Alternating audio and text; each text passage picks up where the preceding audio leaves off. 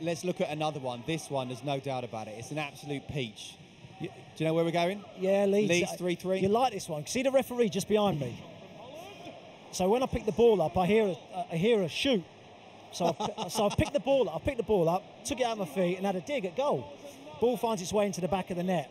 Anyway, about two or three minutes later, we, the sort of game's carrying on, and it was Mark Halsey, the referee. He turns around to me and went, "See, I told you to have a dig." it was the referee who told me to have a shot. I was in the dugout saying pass, pass, Yeah, yeah. pass. Your best goal in the Charlton shirt? That one? Yeah, I think so. I, I think my most enjoyable was the Chelsea one. I think that, that win and I thought the one at Everton, importance- away- the away at Everton was a good one. Yeah, the Everton Yeah. one. But that that was sort of the best goal I think I, I, I scored.